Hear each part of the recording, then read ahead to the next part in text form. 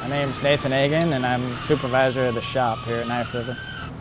Looking at this place when I walked in that this was going to be pretty cool. So I need to stay after this. If people think you got to go sit behind a desk to make good money, they're, they're crazy.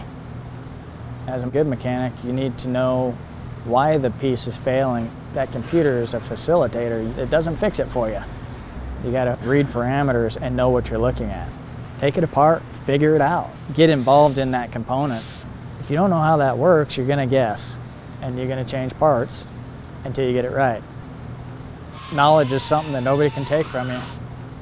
Did all the programs through high school and then went to working in a shop and ended up going to college. Went through the automotive program and came in here and I swept floors and I greased semi trucks, cleaned the shop, I pressure washed equipment, started working on trucks at night, learned how to work on iron from educated guys.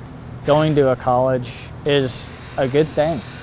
You can't just walk in here and do my job. You can't tell me what's wrong with a pickup or a loader or something and fix it because you'd be lost.